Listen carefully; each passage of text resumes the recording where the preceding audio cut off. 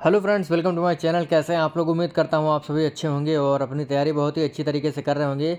आज का हमारा ये दूसरा पार्ट है बाल विकास और शिक्षा शास्त्र के पंद्रह प्रश्नों का। पिछला वीडियो नहीं देखें डिस्क्रिप्शन में आपको उसका लिंक मिल जाएगा, आप वहाँ से पिछला वीडियो ज़रूर देखिएगा, ठीक है? और चैनल पर अगर आप पहली बार आएँ चैनल को सब्सक्राइब कर लीजिएगा। क्या कर लीजिएगा? सब्सक्राइब कर लीजिएगा, ठीक है? जो लाल वाला बटन है ना, उसे दबा लीजिएगा। और कोई पैसा नहीं लगता है, आप सभी को पता ही होगा। तो भैया सब्सक्राइब कर लीजिए और बहुत सारे ऐसे प्रश्न मिलेंगे जो आपके आने वाले एग्ज़ाम में आपको मिलेंगे ही। तो बिना समय गवाए हुए शुरू करते हैं आज का अपना बहुत ही सुंदर वीडियो। प्रश्न है, पियाजे के अनुसार विकास को प्रभावित करने में निम्नलिखित कारकों में से किसकी भूमिका महत्वपूर्ण होती है? भाषा, पुनर्बलन, भौतिक विश्व के साथ अनुभव या अनुकरण। तो पियाजे महोदय कहाँ के निवासी थे? सभी को पता होना चाहिए स्विट्जरलैंड के। इन्होंने संज्ञानात्मक विकास की कितनी अवस्थाएँ बताई थी?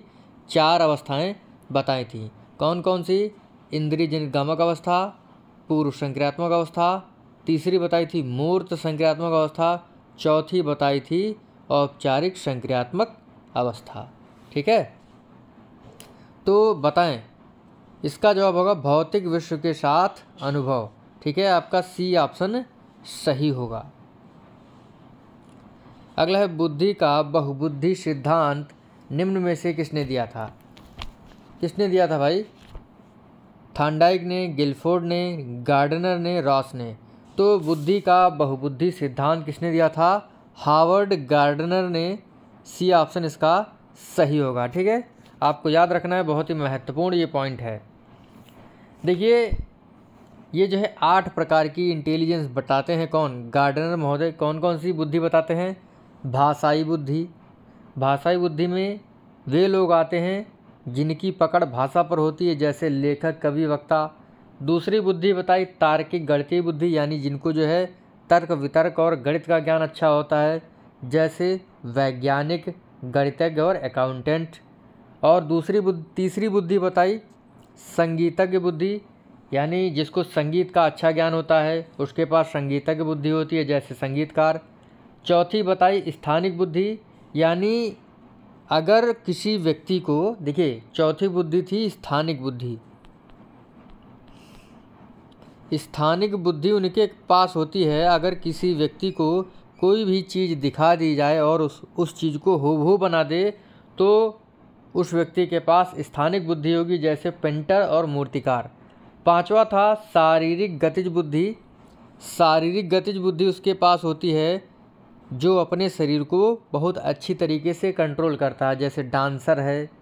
डांसर आपका हो गया। जिमनास्ट हो गया, यानी जो जिमनास्टिक करते हैं। ठीक है? मतलब देखिए, वो अपने शरीर को जैसे चाहे वैसे मोड़ सकते हैं। तो उनके पास शारीरिक गतिज बुद्धि होती है और आपका प्लेयर है। क्रिकेट प्लेयर है। देखिए, वो जब कैच लेने जाता है तो अपने शरीर को कैसे मोड़ लेता है? Yoga master, choreographer. तो इनके पास ये शारीरिक गतिज बुद्धि होती है।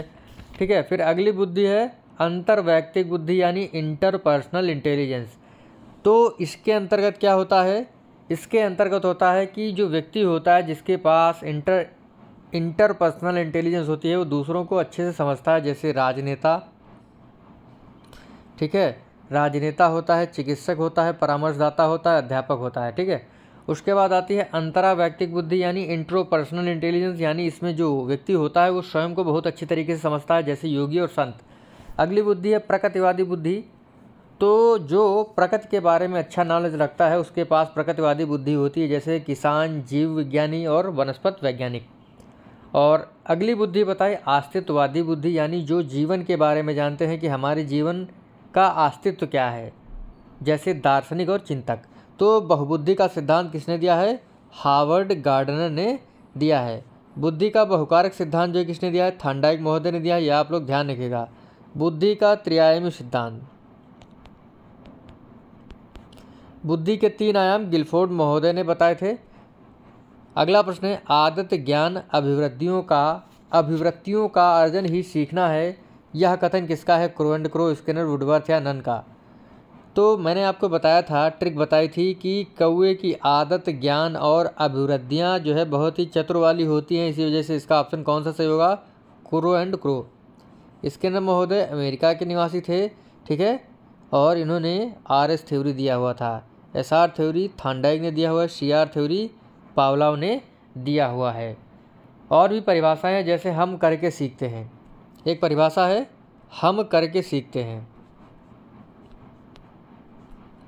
करके सीखते हैं। ये किसने कहा है? ये कहा है डॉक्टर मिस ने। ठीक है? और परिभाषाएँ बहुत ही महत्वपूर्ण है, वो आपको याद रखना है। परिभाषा है, व्यवहार के परिणाम स्वरूप व्यवहार में परिवर्तन ही सीखना है। किसने कहा है? गिलफोर्ड ने कहा है। अगला है पूर्व संक्रियात्मक काल में आने वाली संज्ञानात्मक योग्यता है। अमूर्त चिंतन की योग्यता अभिकल्पनात्मक निष्कर्ष चिंतन, लक्ष्य उद्दिष्ट व्यवहार की योग्यता, दूसरे के दृष्टिकोण को समझने की योग्यता। तो पूर्व संक्रियात्मक अवस्था का समय होता है, क्या होता है? दो से सात वर्ष का। ठीक है? इसमें अमूर्त चिंतन नहीं होता है अभिकल्पनात्मक निष्कर्ष पे पहुँचना ये भी नहीं होता है, दूसरे के दृष्टिकोण को समझना ये भी नहीं समझ पाता है तो आपका जो है थर्ड वाला ऑप्शन सही होगा, लक्ष्य उद्दिष्ट व्यवहार करता है।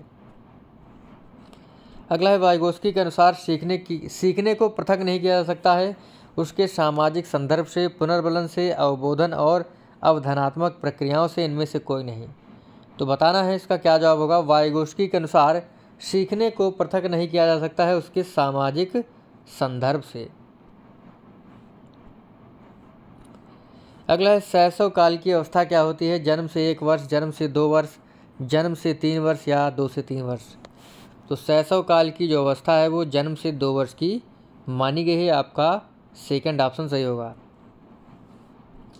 अगला है, विकास की दिशा कैसी होती है? सामान्य से विशिष्ट, जटिल से कठिन, विशिष्ट से सामान्य या साधारण से आसान? बताएँ आप लोग, इसका क्या जवाब होगा? विकास जो है, विकास की दिशा क्या होती है? तो ये होती है सामान्य से विशिष्ट की ओर। अगला है, जब वयस्क सहयोग से सामंजस्य कर लेते हैं। जब वयस्क सहयोग से सामंजस्य कर लेते हैं तो वे बच्चे के वर्तमान स्तर के प्रदर्शन को संभावित क्षमता के स्तर के प्रदर्शन की तरफ़ प्रगति क्रम को सुगम बनाते हैं, इसे कहा जाता है। लिखा है, जब वयस्क जो है, सहयोग से मतलब किसी व्यक्ति की सहायता से सामंजस्य कर लेते हैं तो वे बच्चे के वर्तमान स्तर के प्रदर्शन को संभावित क्षमता के स्तर के प्रदर्शन की तरफ़ प्रगति क्रम को सुगम बनाते हैं। ठीक है, इसे कहा जाता है समीपस्थ विकास सहयोग देना सहगा भागी अधिगम या सहयोगात्मक अधिगम। तो ये होगा सहयोग देना। इसके फोल्डिंग जो होता है वो सहयोग देना होता है मतलब थोड़ी देर की सहायता। मान लीजिए कोई भी बच्चा जो है दो से दस तक पहाड़े जो है नहीं सीख पा रहा है तो एक वयस्क व्यक्ति दूसरा आएगा जो बड़ा होता है उससे, उसको जो है दो से दस तक पहाड़े याद करा देगा मतलब थोड़ा सा उसको सहयोग दे देगा और वो सहयोग जो है कुछ समय के बाद हटा लिया जाएगा जब उसे दो से दस तक पहाड़े याद हो जाएँगे। तो ये क्या होगा? सहयोग देना कुछ समय के लिए। अगला है नवीन जानकारी को शामिल करने के लिए वर्तमान स्कीमा, यानी अवधारणा में बदलाव की प्रक्रिया कहलाती है अनुकूलन, आत्मसातकरण, समायोजन या अहम केंद्रिता। तो ये होता है समायोजन। अगला है मध्य। बाल्यावस्था में भाषा के बजाय अधिक है। अहम केंद्रित सामाजिकृत सामाजिकृत अहम केंद्रित जीववादी सामाजिकृत परिपक्व या अपरिपक्व।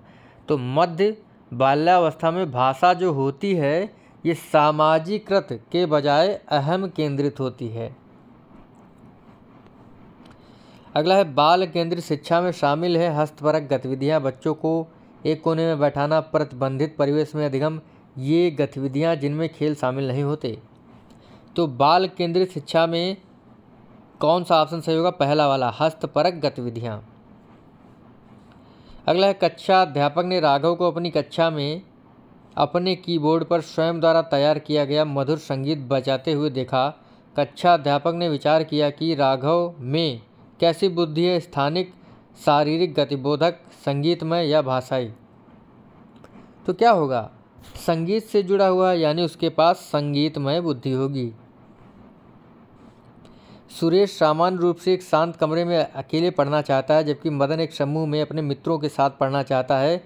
यह उनके में भिन्नता का कारण है। मूल्यों अभिक्षमता अधिगम शैली या चिंतन।